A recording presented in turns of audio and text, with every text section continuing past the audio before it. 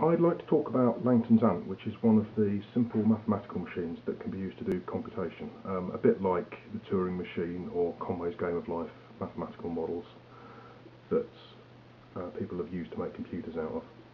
Um, it's a 2D automaton, hence I have this 2D grid here, which um, normally is a reversi board, and I've got this meeple here to represent the ant and what the ant does is will depending on the colour of the square that it's sitting on turn left or right so I'm going to say um, left is white, right's black. then it always moves forward one square and flips the square that it was just on so this guy here facing that way will turn left move forward one and flip that square left again because it's white again white again.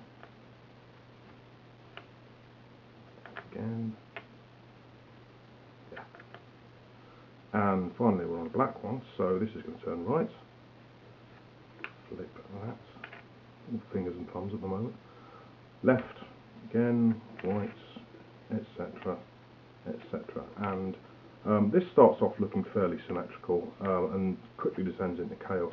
The behaviour of it is quite interesting um, if you're starting from a blank field, like I just did. Um, I will probably link to a video by the Numberphile people who do a much better job of explaining this. But what I'm particularly interested in is what happens if you set up the board in advance. So instead of starting from a blank grid, we make this line here. And if the ant was to enter here, turning right because of the black one, left and left again, I'll do both of those at once, right and right again, left and left again. And what you should see is that the ant is following this line. So by making that line of black squares, we made a line for it to follow. Um, and you can do more complex patterns which will cause it to follow a line and then turn um, and come out wherever you want. But uh, what's really cool is that um, some people at the University of Chile figured out that they could make logic gates out of this. So this is one of their NOT gates, and as the ant comes in on the left here, it will follow around all of these squares and read these two at the top, which is an input, and produce the inverted version on the bottom. So these two are both white, these two will both be black, and vice versa. And the ant then exits on the right to the next gate. There could be a long wire here, like I've just made there. Um, this is an AND gate. This one has two inputs and the logical AND of those ends up down here and then the AND exits on the right again. And of course you can chain these together. So you can chain these so the AND executes this one then this one and you could make another copy of this and chain the um, output of this to the input of this. They're at slightly different scales unfortunately so they don't quite match up. But there's your NAND gate and with AND gates and NOT gates you've got everything you need to make a computer with. So Langton's ant can be used to do universal computation in a fairly simple manner, unlike Rule 110, which is very, very difficult to understand.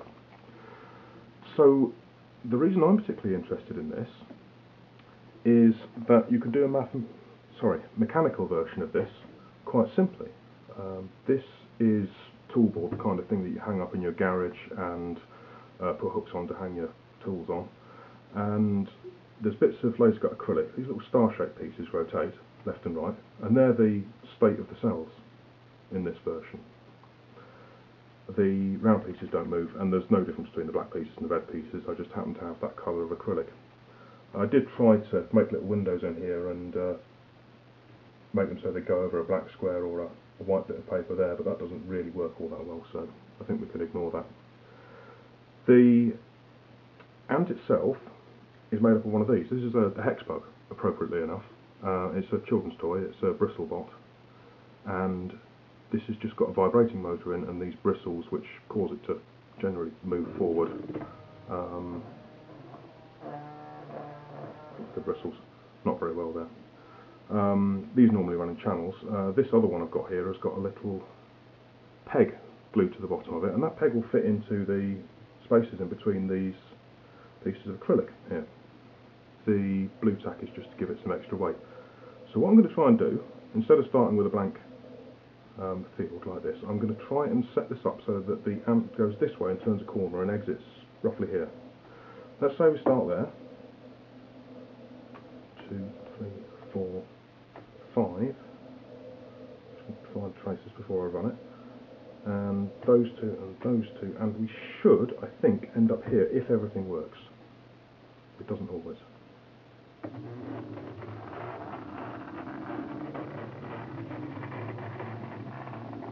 Looking good today. Yes, and we're out. Now, one of the very interesting things about Langton's ant is that it's reversible. So, what I'm going to do now is I'm going to turn this ant around and send it back in the way it came, and I'm hoping it will come out here again.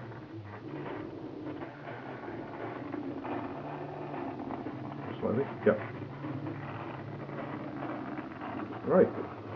Now, not only did it come out where it went in the first time, um, it should also have reset the entire board to the state that it was in before, before I put the ant in for the first time.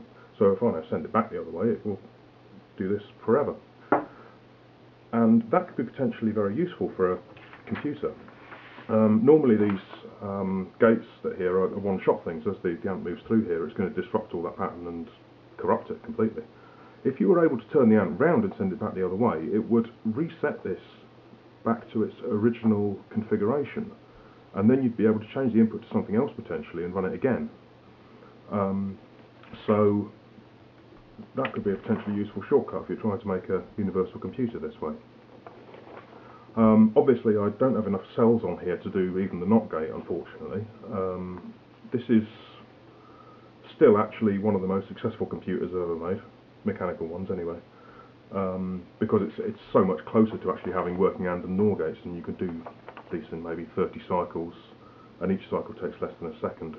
Um, if it were possible somehow to shrink all this down and shrink the the ant down as well, um, you could potentially make a, a computer that could almost do something useful out of this.